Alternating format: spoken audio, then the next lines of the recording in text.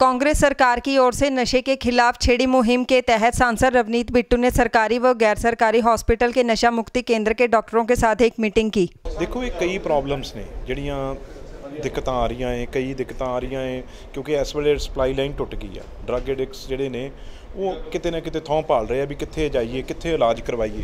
ਤੇ ਉਹਦੇ ਲਈ ਸਾਰੇ ਅਸੀਂ ਡਾਕਟਰ ਸਵਾਨ ਜਿਹੜੇ ਸਾਈਕੈਟ੍ਰਿਕ ਨੇ, ਜਿਹੜੇ ਰੀਡਿਕਸ਼ਨ ਸੈਂਟਰ ਨੇ ਜਿਨ੍ਹਾਂ ਦੇ, ਉਹਨਾਂ ਨੂੰ ਬੇਨਤੀ ਕੀਤੀ ਸਾਰਿਆਂ ਨੂੰ ਵੀ ਇਹਦੇ ਵਿੱਚ ਜਿੰਨੇ ਵੀ ਪੇਸ਼ੈਂਟ ਪਿੰਡਾਂ ਤੋਂ ਆਉਣਾ ਚਾਹੁੰਦੇ ਆ, ਉਹਨਾਂ ਦੇ ਟੈਸਟ ਜਿੰਨੇ ਮਰਜ਼ੀ ਹੋਣ। ਉਹ ਤੁਸੀਂ ਫ੍ਰੀ ਕਰੋ।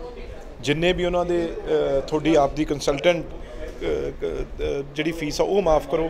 ਹਾਂ, ਜਿਹੜੀ ਦਵਾਈ ਆ, ਉਹ ਚ ਵੀ ਅਸੀਂ ਐਨਜੀਓਜ਼ ਨੂੰ ਲੈ ਕੇ ਆਈਏ ਵੀ ਉਹਨਾਂ ਨੂੰ ਜਿਹੜੀ ਦਵਾਈ ਆ, ਉਹਨਾਂ ਨੂੰ ਦਿੱਤੀ ਜਾਵੇ। ਉਹ ਕੋਈ ਐਨਜੀਓ ਸਾਰੇ ਅਸੀਂ ਕੋਸ਼ਿਸ਼ ਕਰ ਰਹੇ ਹਾਂ। ਇੱਕ ਅਸੀਂ ਸਿਵਲ ਹਸਪੀਟਲ ਚ ਸਾਰੇ ਇੱਕ ਸਰਾਂ ਹੈ, ਬਹੁਤ ਵੱਡੀ, ਜਿੱਥੇ 40 ਬੈੱਡ ਲੱਗ ਸਕਦੇ ਆ। ਉਹਨੂੰ ਹੁਣੀ ਸਾਰੇ ਨਾਲ ਗੱਲ ਕਰਕੇ ਅਸੀਂ ਕੁਝ ਏਸੀ ਲਾਉਣੇ ਨੇ ਉੱਥੇ, ਛੇ ਉਹ ਵੀ ਅਸੀਂ ਆਪਣੇ ਲੋਕ, ਜਿਹੜੇ ਸੇਵਾ ਕਰਨ ਵਾਲੇ ਆ, ਉਹ ਉਹਨਾਂ ਨੂੰ ਕਹਿ ਰਹੇ ਆ ਵੀ ਕੋਈ ਵੀ ਦਿੱਕਤ ਨਾ ਆਵੇ।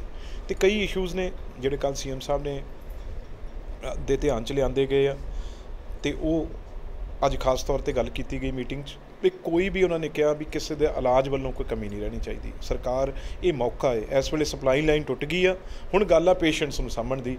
ਜਿਹੜੇ ਐਡਿਕਟਸ ਨੇ, ਉਹਨਾਂ ਨੂੰ ਕਿਵੇਂ ਸਾਂਭਣਾ? ਜਿਨ੍ਹਾਂ ਨੇ ਬਹੁਤ ਵੱਡਾ ਉਪਰਾਲਾ ਕਰਕੇ ਪ੍ਰਣ ਲਿਆ ਵਾ ਕਿ ਲੁਧਿਆਣੇ 'ਚ ਖਾਸ ਕਰਕੇ ਵੈਸੇ ਤਾਂ ਸਾਰੇ ਪੰਜਾਬ 'ਚੋਂ ਆ, ਪਰ ਉਹ ਲੁਧਿਆਣੇ ਦੇ ਐਮਪੀ ਹੋਣ ਕਰਕੇ ਉਹਨਾਂ ਨੇ ਪ੍ਰਣ ਲਿਆ ਕਿ ਮੈਂ ਲੁਧਿਆਣੇ 'ਚੋਂ ਨਸ਼ਾ ਮੁਕਤ ਕਰਕੇ ਰਹੂੰਗਾ।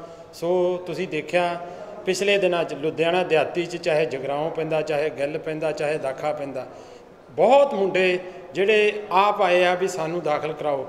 ਤੁਸੀਂ ਦੇਖਦੇ ਹੋ ਕਿ ਗੁ- ਹਸਪਤਾਲਾਂ 'ਚ ਜਗ੍ਹਾ ਨਹੀਂ, ਜਗ੍ਹਾ ਅਰੇਂਜ ਕੀਤੀ ਗਈ ਪ੍ਰਾਈਵੇਟ ਹਸਪਤਾਲਾਂ 'ਚ ਬਿਸਤਰੇ ਅਰੇਂਜ ਕਰਕੇ ਉੱਥੇ ਬੱਚੇ ਦਾਖਲ ਕਰਾਏ ਗਏ ਆ।